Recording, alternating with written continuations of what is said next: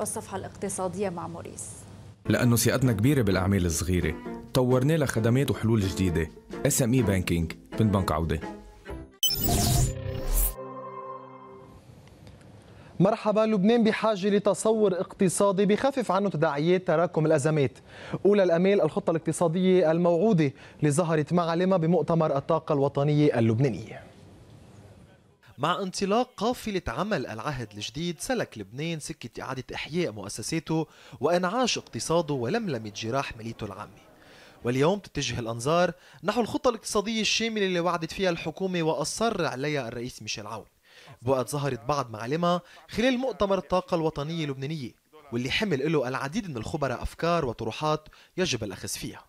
مبادرة الألاني مبادرة كتير مهمة. هيدي أول مرة من 2005 أركان الدولة عم بيحكوا مع القطاع الخاص ليكون في مشروع اقتصادي متكامل. الخطة اللي طرحناها بخصوص القطاع المالي مصارف وتأمين وبورصة. وركزنا بما يخص المحور تبعنا على القطاع المالي. إن كان مصارف ولا شركات تأمين عندها وضع تنافسي آه، جيد بيقدر يساعدنا لنستقطب أموال على لبنان. وهيدا الشيء اللي بدنا نقويه. بنفس الوقت تصدير الخدمات بنفس الوقت المصارف وقطاع التأمين وبورصة بيروت عندهم دور للتنمية الاقتصادية. قطاع التأمين عنده دور كتير مهم. أولهم هو الاستثمار على المدى البعيد. لنطور مصارف الاستثمار نقدر نطلب منها ترفع رأس مالها بس بنفس الوقت يكون عندها قدرة للاستثمار أكثر ما هي عندها اليوم بتعديل بعض الأنظمة اللي عندها إياها.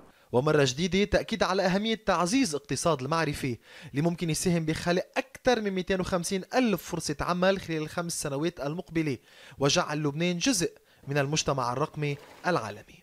إذا بدنا نبني اقتصاد متطور نحن بحاجة للاقتصاد المعرفي. في ecosystem موجود بس هذا ال ecosystem بحاجة أكيد لتقوية وتنمية. في تعميم مصرف لبنان بده يتواكب مع قرارات من الحكومة لتقدر تساعد هذا ال ecosystem إن على صعيد القوانين أو على صعيد استقطاب المستثمرين الأجانب لنقدر نطور ونعمل من لبنان platform عالمية. وأمام هالمبادرات تبقى الأمال بالاقتصاد بحجم الإيمان بلبنان اللي بيسعى للتحول من دولة ريعية إلى دولة راعية لمواطنيها. إلى جولة الأسواق البداية اللبنانية وخليجية. طبعا بالخليج الأسواق مغلقة اليوم وإلى الشرات العالمية بشكل عام مستويات قياسية بأوروبا مع استيعاب قرار بنك إنجلترا المركزي الخاص برفع الفايدة لأول مرة بعشر سنوات لنص بالمية. توقع رئيس البنك أيضا مارك هنري رفع الفايدة مرتين بالسنوات الثلاثة المقبلة. ستريت كان عم تلاقي بعض الدعم من تسارع نمو الوظائف الأمريكية بأكتوبر ولكن بأقل متوقعات بالإضافة لتراجع نسب البطالة. الأبرز اليوم هو ارتفاع سهم أبل 4% وهنالك بعض التقديرات بأن توصل قيمة الشركة لحدود التريليون دولار مستوى قياسي للشركات. بعد إعلان الشركات عن نتائج إيجابية جدا لربع الثالث.